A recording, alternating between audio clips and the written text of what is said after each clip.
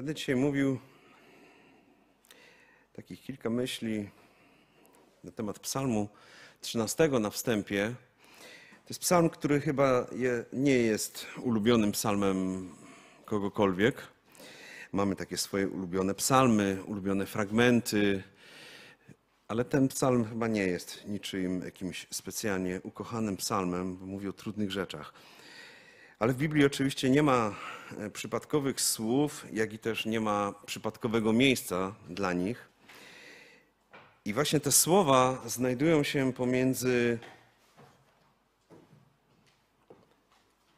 no, końcówką Psalmu 12 i początkiem 14 oczywiście.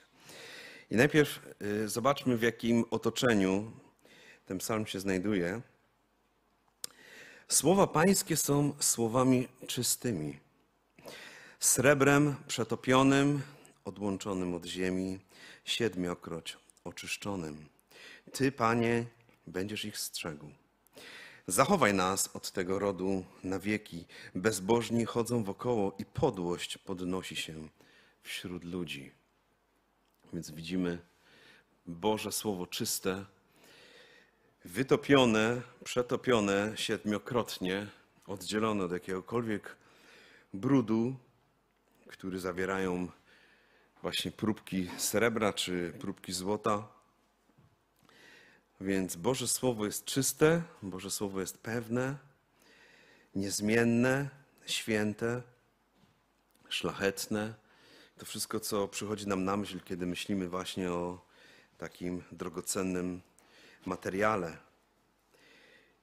I sam Bóg strzeże swojego słowa. Wielokrotnie mogliśmy usłyszeć zarzut od ludzi, chcąc powołać na Biblię, a kto to tam wie, a kto to napisał, a kto to przetłumaczył, a czy dobrze przetłumaczył, a czy te odnalezione fragmenty to nie miały jakichś dziur, a to już tyle lat minęło, a to na pewno coś się pourywało, a coś się spaliło, a coś się zniszczyło, a ktoś na pewno przekręcił i tak dalej, i tak dalej. Ale zapominamy o tym, że twórca tego słowa, autor, sam dba przez wszystkie wieki, aby ono właśnie było tym czystym, wytopionym srebrem dotykającym naszych serc.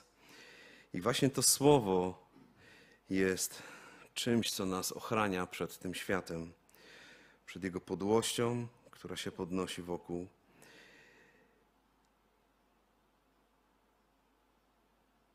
I koniec, po, po tym psalmie są kolejne słowa. Głupi rzekł w sercu swoim nie ma Boga.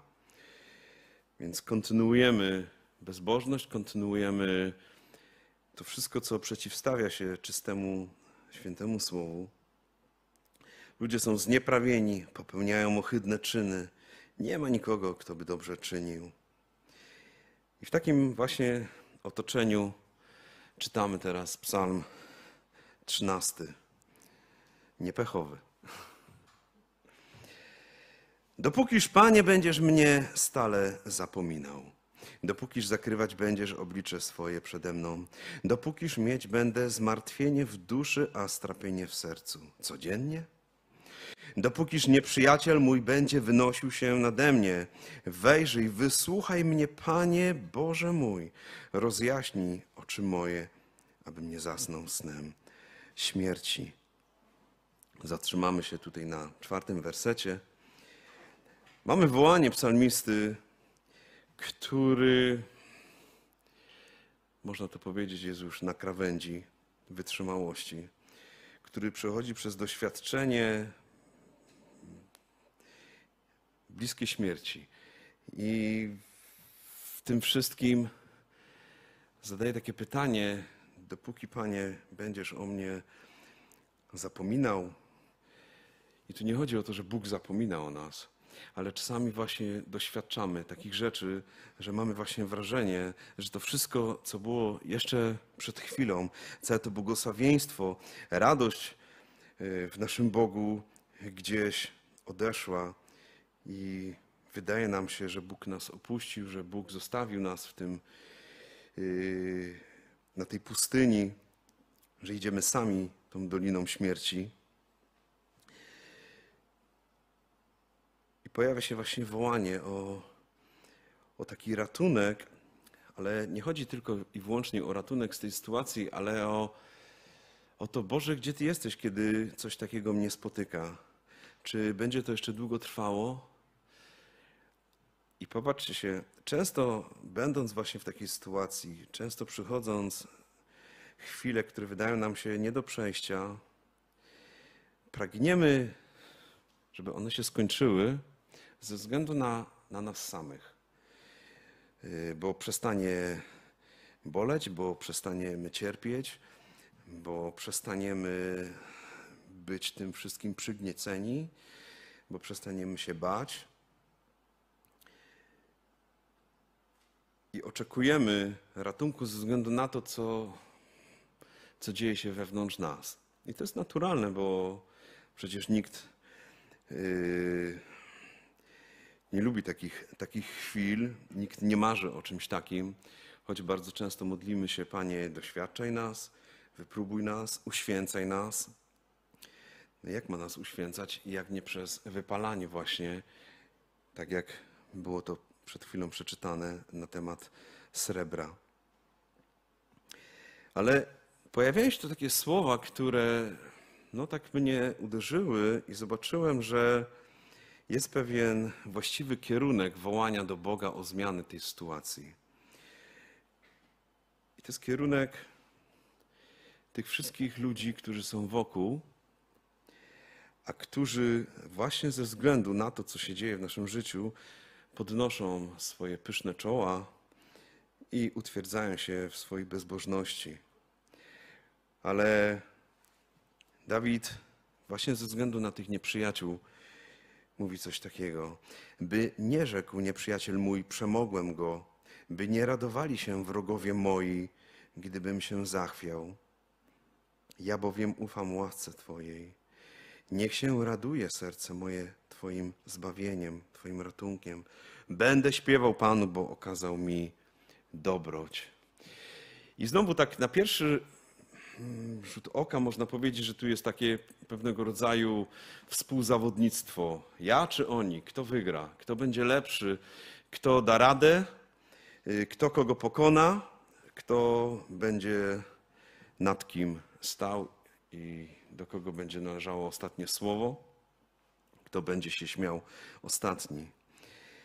Ale ja czytam tutaj coś znacznie więcej. Ludzie, którzy oczekują naszych upadków, którzy właśnie w chwili, w której znajdujemy się, tak jak wcześniej Dawid, wołając o Boży ratunek, o Boże zlitowanie się w bólu i w cierpieniu, właśnie kiedy Bóg podnosi nas, kiedy powstajemy z tego wszystkiego, kiedy stajemy na nogach, kiedy niezachwianie ufamy Bogu, jak tutaj pisze, bowiem ufam łasce Twojej, to wtedy pojawia się szok, może zadziwienie, ale też jeszcze głośniejsze czasem zgrzytanie zębami tych, którzy oczekiwali właśnie naszego upadku. I właśnie ze względu na tych ludzi, którzy dzisiaj jeszcze Boga nie znają, ze względu na tych, którzy życzą jak najgorzej, Bóg podnosi to, co umarłe, Bóg podnosi to, co w beznadziei, Bóg przemienia to, co zniszczone, aby ci, którzy zacielali ręce, nie mieli nic już do powiedzenia i zastanowili się nad swoim życiem i doszli do właściwego wniosku, że Bóg jest jednak z nim. Coś jest na rzeczy. I powiem Wam, zapominamy o tym. Zapominamy o tym, że właśnie reakcja często ludzi, którzy są nam nieprzychylni, którzy są nam wrogo yy, nastawieni do nas, no właśnie może być taka.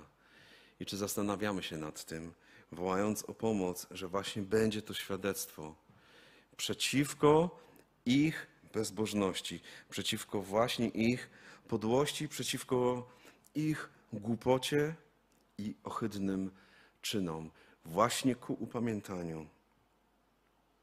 Bóg jest dobry i Bóg nie jest tym, który zapomina, Bóg nie jest tym, który oddala się i nie ma nic wspólnego ze swoim ludem, ze swoim, ze swoim dzieckiem. Bez względu na to, co się dzieje, wszyscy wiemy też, czego doświadczamy jako zbór, mamy tego też świadomość, ale dobrze jest też spojrzeć na to z takiej właśnie też perspektywy. Niech świat będzie zadziwiony tym, co dzieje się pośród nas i co przede wszystkim wspaniały Bóg czyni pośród nas, właśnie też w czasie tego trudnego doświadczenia, przez które przechodzimy. Pan spogląda z niebios na ludzi, aby zobaczyć, czy jest kto rozumny, który szuka Boga. Czy szukasz Boga, czy jesteś rozumny?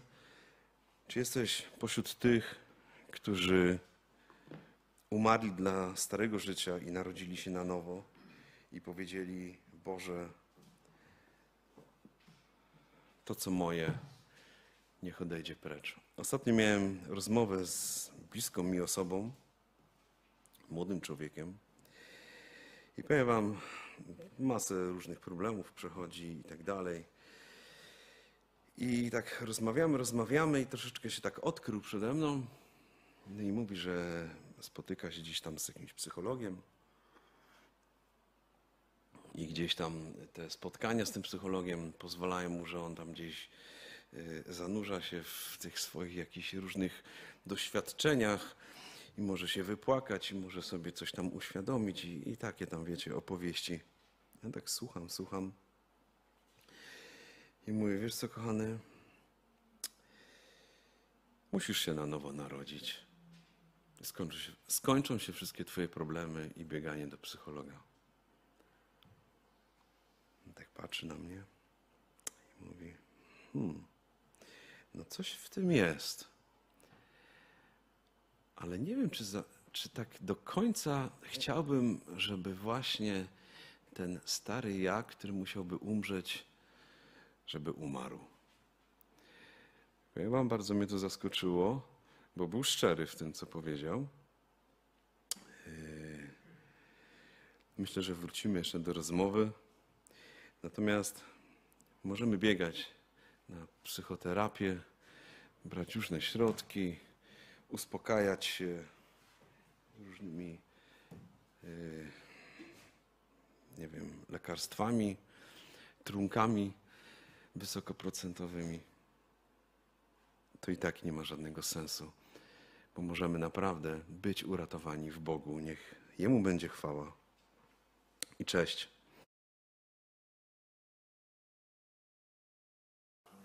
Raz.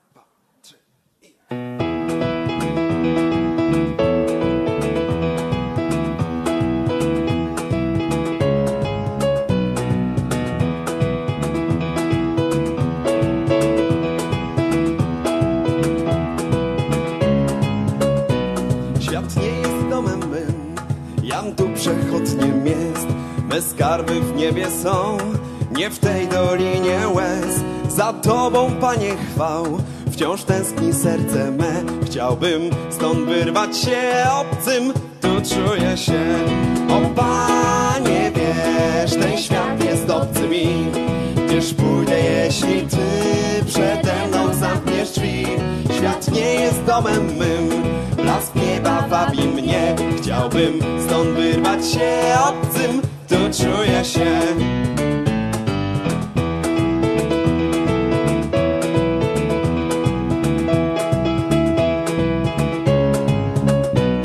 Już tylu bliskich mych na drugi przeszło brzeg Gdzie pójdę także ja, gdy ziemski skończę bieg. Mój Pan otworzy drzwi, z imienia wezwie mnie. Chciałbym stąd wyrwać się obcym czuję się O Panie, wiesz, ten świat jest obcy mi. Pójdę, jeśli Ty przede mną zamkniesz drzwi. Świat nie jest domem mym Blask nieba wabi mnie. Chciałbym stąd wyrwać się obcym. Tu czuję się